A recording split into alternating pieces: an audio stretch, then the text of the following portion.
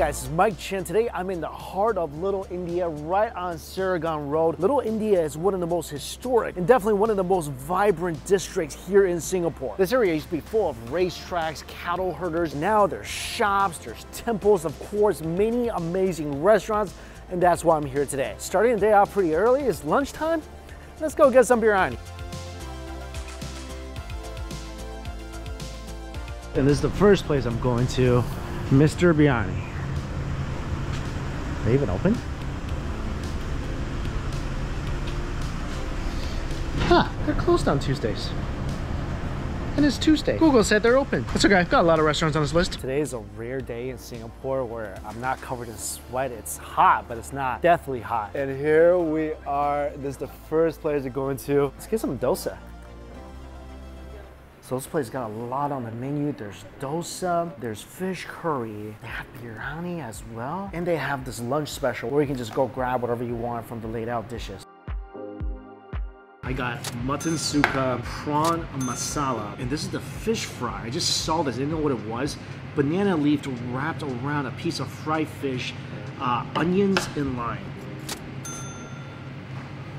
Whew, that is pretty. Squeeze a little juice on that. And of course, my beautiful looking butter naan. Perfectly toasty on the bottom, flaky and airy, and drenched in butter. I guess something started with something like this.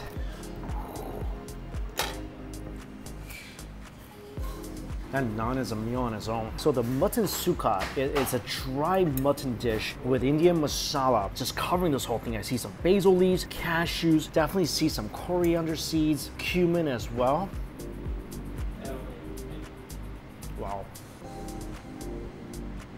That's a dish that not only brings the flavor, it brings the heat. No wonder it's not as hot outside today. All the heat is right in here. It's delicious though. This kind of reminds me of the dish I had in China, which is basically mutton skewers with tons of chili and cumin. Except here, it's much more flavorful because they added so much more to the flavor of this dish. Mm. And the mutton itself, some lean pieces, some fatty pieces. It's like a flavor overload. The mutton is tender. It feels like every single time I chew, more flavor exudes from these little pieces of meat. There's so much aroma from the basil leaves too. Mm. A nice crunch from the cashews. That goes so nicely with the naan. I really want to try out this fish. It just came out of the kitchen. Look how, oh wow.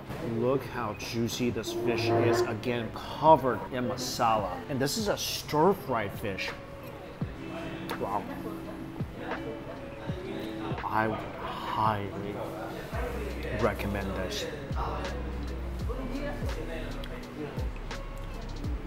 Not just highly recommend, make sure you come here and you try this fish dish out. Extremely juicy, soft, flaky filet, sweet tender fish covered in this amazing masala. Mm. And that flavor has definitely steeped all the way into the middle of the fish. The whole thing is just like a celebration in your mouth. Let me add some, some onions to it. Mm, even better a little crunchy, juicy onions added to the amazing flavor of this fish. This is unbelievably good. No wonder as soon as they brought it out, I was kind of drawn to that dish. I always feel like I have a sixth sense for dishes. That's amazing. Next, this is one of their signature dishes in this restaurant. This is the prawn masala. Mm. Oh, this is so good. This dish, chilies inside, giant pieces of poppin' sweet prawn soaked in that deliciously rich gravy. There's also cashew paste in here to give us a more deep, rich, fattier flavor.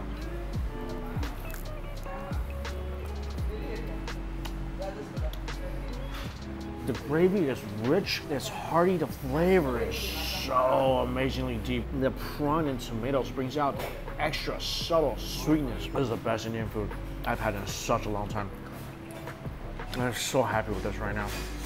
Mm, still, those are to come. Ooh, this is a beautiful looking dish. Just got a basket of fresh garlic naan. So dosa is a rice and lentil pancake and there's vegetables stuffed inside. And check out how amazingly light and thin this is. You can probably hang glide with this thing. And in the middle, look at that.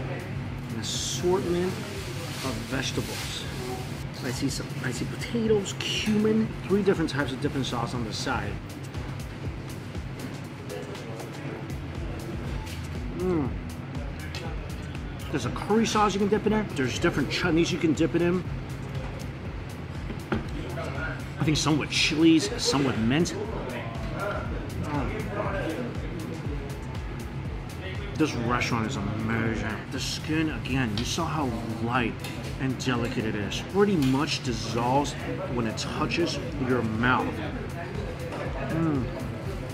And the vegetables inside, especially the potatoes, are so delightfully velvety. Mix that with some of the chutney to change up the flavor profile a little bit, and you taste tiny bit the sourness of the dough as well.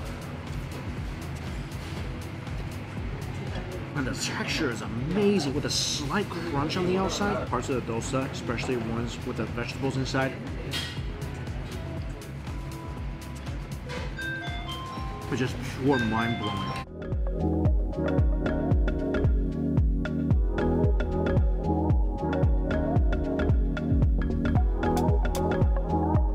Take a little break at my favorite vending machine in Singapore. Fresh sugar cane juice for $2, two Singapore dollars.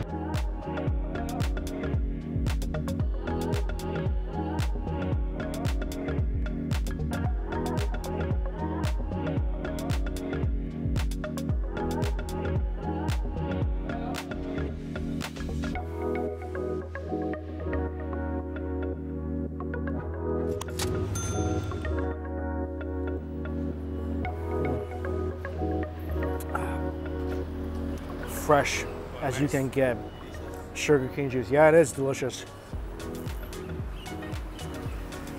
This would easily be, I think, seven, eight dollars back in the US. My favorite vending machine in all of Singapore. Right in the middle of Little India. Next place I'm going to is actually a couple doors down. Mustard, flavors of Bengal and Punjab. So this place comes highly recommended. I feel like it's more of a modern Indian food restaurant. This is the Manchir cutlet. It's basically fish cutlet, deep fried, crunchy on the outside, wedge of lemon, and this comes with a specialty mustard sauce.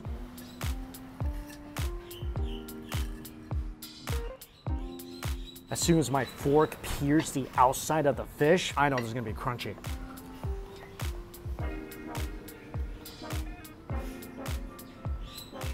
This is freaking incredible. The most tender, juicy fish and probably the crunchiest shell.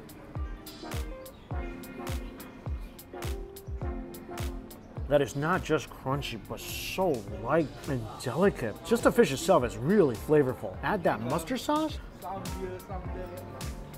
Um, the mustard sauce, just to balance out that slight oiliness from this dish, this thing is just absolute fried fish perfection. If you like fish and chips, if you like a fish fry, you're gonna absolutely be mind blown over this. I got something else that's kind of similar. This is the Kolkata chop, and it's minced chicken with spices, with spices inside a delightfully crunchy outer shell. And there's Bengali spices on the inside. And it comes with some kind of chutney dip mint chutney. This restaurant really knows how to fry its food to just obtain that magnificent outer crunch. The chicken is tender, it's seasoned nicely. It's one of those things where I wish I had this first before the fish dish. The fish is so impressive, the flavor, the texture. I mean, this is good, but it's not as good as the fish. This next dish is also a signature dish here. Oh my gosh, this smells so good. That's what I love about Indian food before you taste it, you're smelling the heck out of it. And this dish is called kosha mangsho. It's tender pieces of mutton cooked over slow flame with Bengali seasoning inside. So there's potatoes in here. I see cinnamon, curry, parsley, some chilies. And to eat that, fresh garlic naan.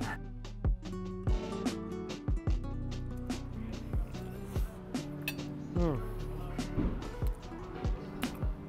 Mushy potatoes, tender pieces of boneless mutton,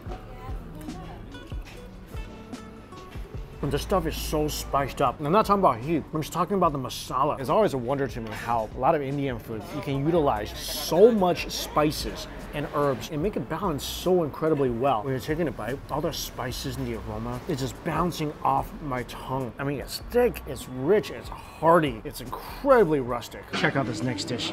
It is so pretty. It's a coconut with curry inside. It's a curry served inside a gigantic coconut. It's a chingri mashir malai curry. So if you open the top, that aroma is just rushed out of this coconut. Inside, succulent prawns in this thick, rich gravy. And it's cooked with spicy coconut cream.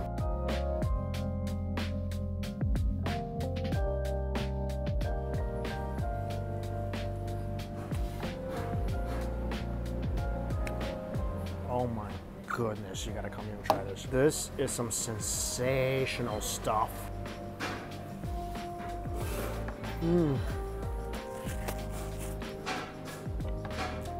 The curry is rich, it's thick. The coconut cream also makes it so, so velvety. The fragrance from the cardamom, the cinnamon all shines through. And then just a blast of coconut flavor. Give me a slight bit of sweetness. Mmm. And just enhancing those already sweet prawns. This is some magical elixir. You will never tire dipping your naan into that. Oh my gosh. I mean, the curry is already super aromatic because all that great spices in here, but the coconut just pushes it over the top. If you want the coconut flavor to be even stronger, dig a little deeper along the wall and get you some of that nice coconut meat. Mm. Oh, that's so nice. The delicate coconut meat and that rich, spicy, sweet, deliciously velvety gravy like nothing I've ever had before. If you come to this place, highly recommend. Get the fried fish, get this. I'm gonna put this on the must-try list. Amazing. I'm definitely feeling the heat now. Sitting outside, there's no air conditioning, and this thing is just boiling me on the inside. So my tongue is on fire. I asked for a spicy version of this. It's one of those food items that will burn you, it will hurt you, but you just wanna keep going back for more.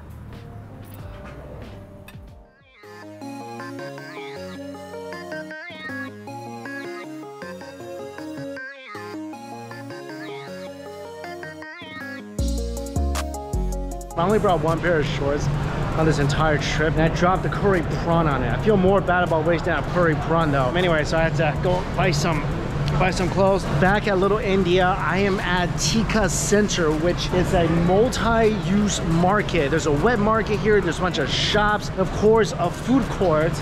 And since I've been craving biryani all day, there's a biryani place that's supposed to be really good. And they got a line too. Let's see if we can get some here.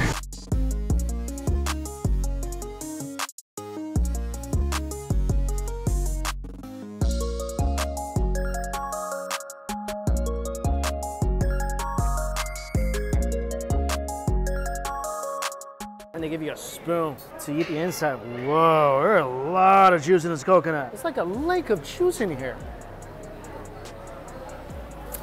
I love a good pouch of biryani. I don't know what it is. Food that comes in pouches, it just seems better. For six Singapore dollars, I get a lot of biryani.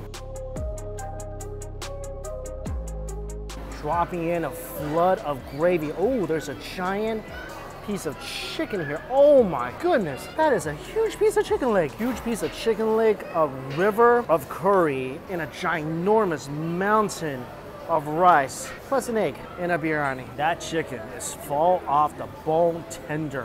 Whew. Mm. Oh, that's so good. Rich, creamy gravy delicious masala. The rice is absolutely freaking perfect. The texture is fluffy, it's aromatic, and the curry blends in so well. Mm. Especially a bite with the egg, where you get that nice creaminess of the yolk, combine that with the rich, delicious flavor of the biryani. Last time I had something this good, I think it was in Dubai. That's another reason I love Singapore so much. It's such a great melting pot of cultures. And a huge portion of the population are Indian, so you know you're gonna find some delicious Indian food here. Like I said, 650, so that's about under $5 US for this ginormous spiced up meal. I gotta come back to Little India more often. I mean, I know I can finish this, this humongous biryani. I just don't know if I can finish this giant coconut. Oh, so big.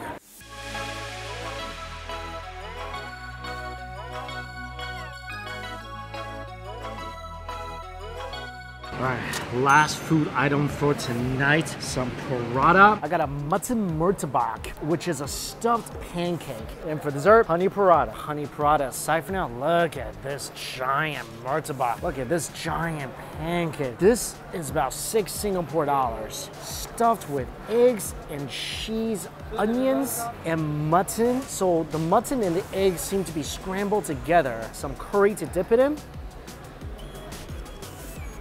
Mm.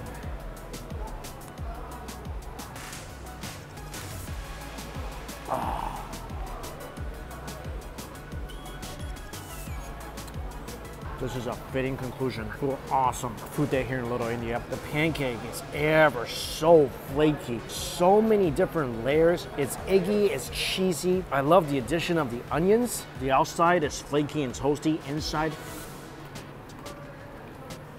the mutton is good, the curry is delicious. Mmm. The texture of pancake is so chewy and airy. And this stuff is freshly cooked, it's piping hot. This is about as comforting as comfort food gets. Mm. Just want to try the honey paratha before it gets cold. Honey getting cold is, is no good. Mm. This is just a perfect dessert. Toasty, thin, light, with delicious sweet honey inside. Nothing overpowering. Goes perfect with this paratha. It's almost like a super thin, luxurious little honey crepe. Mmm.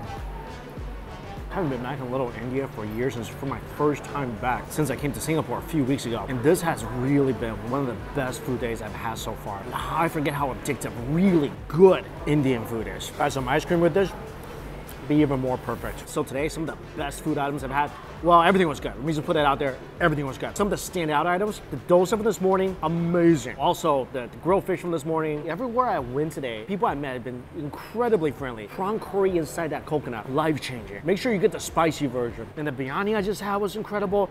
This, the paratha, I mean, it's a long way, but you can definitely see why there's a long way. And trust me, it's worth it. And as always, all the places I went to listed down below for you guys. Thank you all so much for watching until we eat again. See you later.